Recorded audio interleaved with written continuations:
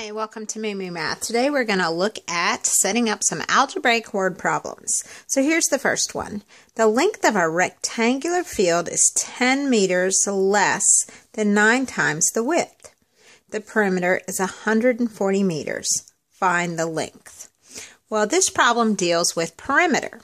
So we need to know what our perimeter formula is for a rectangle. So let's first draw a picture of a rectangle. Our perimeter is when we add all the sides up.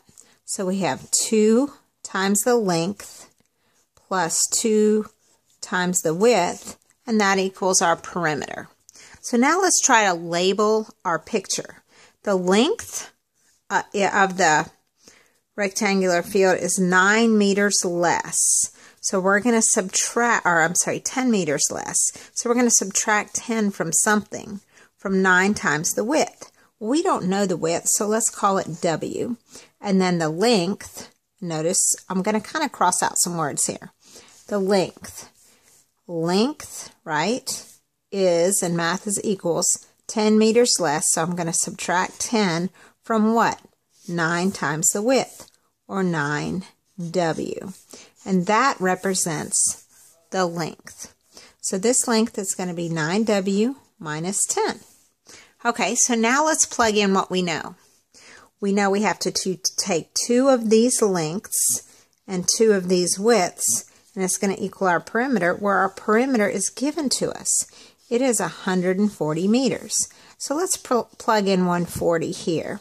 And let's take 2 times this length, which is 9w minus 10, plus 2 times our width. Well, that's just 2w.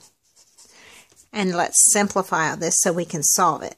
So I'm going to distribute this 2 into my parentheses. So 2 times 9 is 18w. 2 times negative 10 is negative 20. Then I'm just going to bring down my 2w at the back. And I'm going to bring down my 140. Okay, now let's add our like terms. So over here on the right side, we can add 18w and 2w to get 20W. Then we're going to bring down the minus 20 and the 140. Now we need to get the W by itself to solve.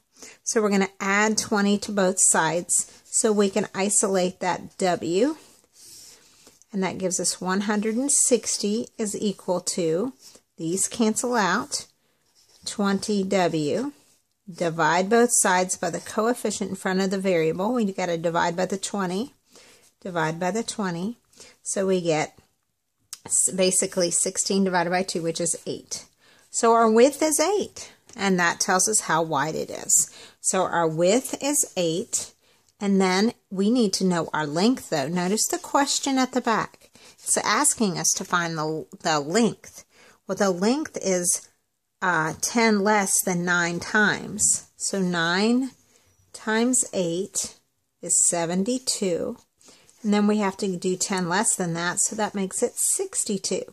And remember, this is a word problem, so we want to add our units. And this was all given to us in meters, so we have to add meters to the back end. And that's how you'd find the length. Now, let's look at a second one. Okay, this is just a number problem. It's not a perimeter, so it's just a word problem. So let's see what we can do with this one. If 7 less than 4 times the number is 29, find the number. Okay, so we don't know the number. So let's say the number is n. Okay, so n represents our number.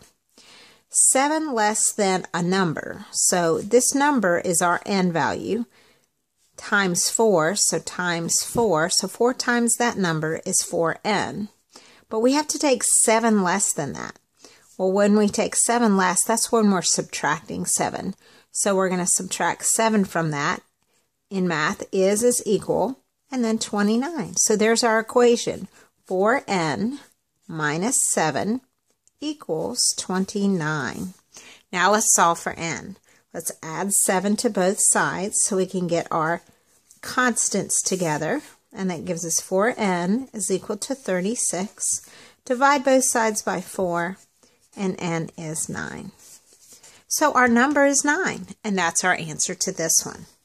Okay, let's throw in another rectangle problem.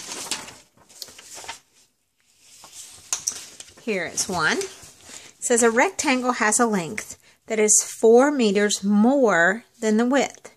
The perimeter is 148 meters. Find the length. Okay, so let's draw our picture. We have a rectangle. The length, which is this longer side, is, is 4 more. So we're going to add 4 to something. What are we adding 4 to? We're adding 4 to the width. So it's just W plus 4. That means this side over here must be W. And then the perimeter is 184. So let's go back. The first problem we did was a perimeter problem. To find the perimeter, we take 2 times the length plus 2 times the width, and that gives us our perimeter. When you add all four sides up, that's 2 lengths and 2 widths. Now let's plug in what we know. What do we know the perimeter is? Well, the perimeter is 184 meters. 2 times the length would be 2 times W plus 4. So let's, for this L, we're going to put in W plus 4 plus 2 widths. Now we just need to solve it. So now let's put it together and distribute our 2 in. So when I distribute my 2 in, I'm going to get 2W plus 8, bring down the plus 2, and bring down the 184. Now let's add our like terms. So we got a 2W and a 2W. That makes it 4W plus 8 is equal to 184. Now we need to get this W by itself, so let's subtract 8, subtract 8. And let's see, that's 176 is equal to 4W. And then we want to divide by 4. Okay, when we divide by 4, that's going to go into it 4, 16, 44 times. So that is our width, okay? But notice we're actually not done with the problem. Have we answered the question? Did it ask us what the width is? No, it asks us to find the length. So what we need to do now is plug into our formula. We know that our width is 44 plus 4 more. That means 48. That's going to be our length. So it's 48 meters. And there's our answer. So the answer is 48